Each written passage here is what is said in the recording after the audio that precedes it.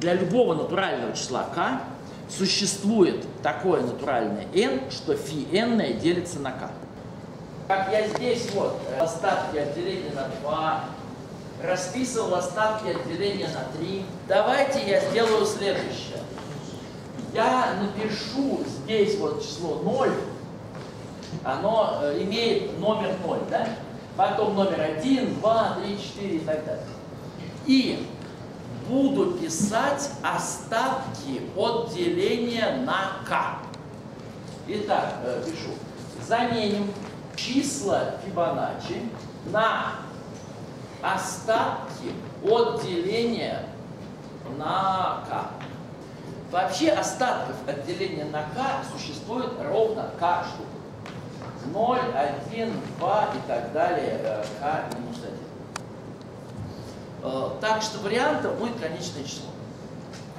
Но если я знаю в каком-то месте остаток отделения, то я вообще-то не знаю, какой остаток будет э, следующий или какой был предыдущий, потому что числа Фибоначчи определяются не через предыдущее число, а как сумма двух предыдущих чисел. Поэтому я должен не просто рассмотреть остатки, а пары соседних чисел. Вот это самое главное здесь идея. Рассмотрим пары соседних.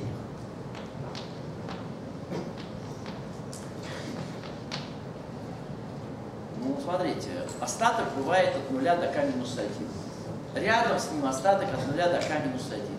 Значит, для пары остатков вариантов всего k квадрат.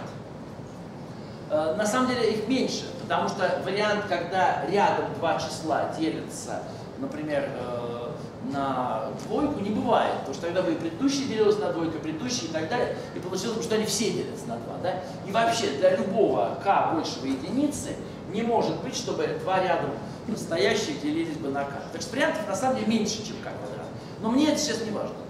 Потому что важно только то, что это конечное. Поэтому, если я выпишу достаточно много этих самых пар, то обязательно какая-то из них повторится. Э, то есть, э, формально говоря, что я делаю? Я выписываю числа фи1, фи2, фи2, фи3, фи3, фи4 и так далее, и так далее, и так далее, фи э, k в квадрате, фи э, k в квадрате плюс первое. Это k квадрат э, разных пар. Слушайте, а давайте я еще с нулем напишу. А? 0 разделить будет фи первое. Тогда этих пар будет k в квадрате плюс 1. А вариантов для них k в квадрате значит обязательно, э, да, все это мы смотрим по модулю К. То есть это не сами числа, а остатки отделения на К. Значит, в какой-то момент э, где-то найдется пара такая же, как где-то в другом месте. Представьте себе, у вас есть какое-то там число Фибоначчи э, и следующее за ним, и с точки зрения делимости на k, то есть когда мы смотрим только остатки деления на k, какое-то там э, l плюс n и фи l плюс n плюс первое. И вот эта пара такая же по остаткам, как это. Смотрите, что я в таком случае могу сказать. Я могу сказать, что предыдущее число Напоминаю, что предыдущее. Это фи l минус первое, фи l это пара. Вот это предыдущее число э, легко вычисляется по правилу. Что такое фи l минус первое? Это фи l плюс первое минус фи l. А что такое фи э, l плюс n минус первое? Это, господа, фи l плюс n плюс первое минус фи l плюс n.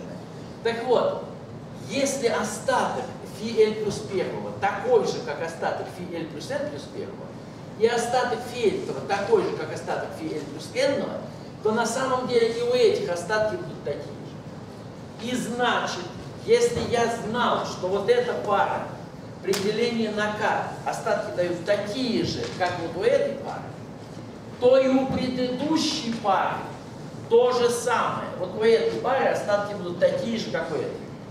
И у предыдущей также. Мы сможем потихонечку ползти назад. Каждый раз и внизу, и вверху, передвигаясь ровно на одну пару. И когда-нибудь мы дойдем до вот этой, до пары 0 единица. И в этот момент вот это поднялось сюда, ну а это, соответственно, поднялось куда-то сюда. И получается, что здесь есть число, делящееся на... Есть число, дающее остаток 0 при делении на k. То есть есть число, делящееся на k. Так, господа, поняли? Можно еще? Еще раз, можно.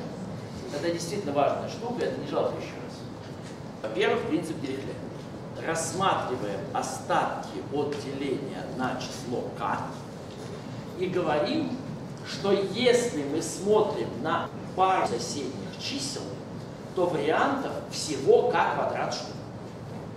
Значит, если мы возьмем много этих пар, больше, чем k квадрат, то обязательно произойдет повторение. Ну, это такая идея, что если у вас э, есть э, жилья на 10 человек, а приехало 11, то кому-то не хватит. Да? То есть у нас k в квадрате максимум вариантов, а если мы возьмем больше, чем k в квадрате вариантов, значит какой-то вариант обязательно повторится. Так? После этого самое важное. Если какие-то две пары дают, соответственно, одинаковые остатки, то есть э, ситуация такая, вот у нас есть э, какие-то две пары, вот эти, как говорят, сравнимы по модулю К, то есть дают один и тот же остаток. И вот эти сравнимы по модулю К, дают один и тот же остаток. Так вот, в таком случае и для предыдущих пар будет то же самое. Теперь поняли? А потому что я написал. А это называется определение числа Фибоначчи. Число Фибоначчи это сумма двух предыдущих. Здесь то же самое. Вот это число Фибоначчи сумма двух предыдущих. И, а, если мы знаем остатки отделения этих, то мы знаем остаток этого. А у них были такие же остатки, значит, что это будет такой же остаток, как у этого. Теперь поняли? Вот, ну и все. Когда-нибудь мы доползем, то есть у есть два, два объекта, которые дают одинаковые остатки, и они постепенно ползут. Когда один из них доползет до нуля, другой еще не доползет, значит, здесь тоже здесь будет число остаток. Вот, все, договорились. Господа, разумеется, это, что называется, совсем не то, что нам хотелось в общем случае. Нам хотелось бы точно знать, вот э, там, для такого-то числа, какое будет делиться. А это такая вот типичная теорема существования. Мы знаем, что оно существует, но э, чему именно равно? Ну, какая-то оценка у нас, конечно, получилась, что это n э, не больше, там, чем k квадрат. Вот. Видно, что, конечно, э, очевидно, что там есть что-то э, более интересное, что-то более замечательное.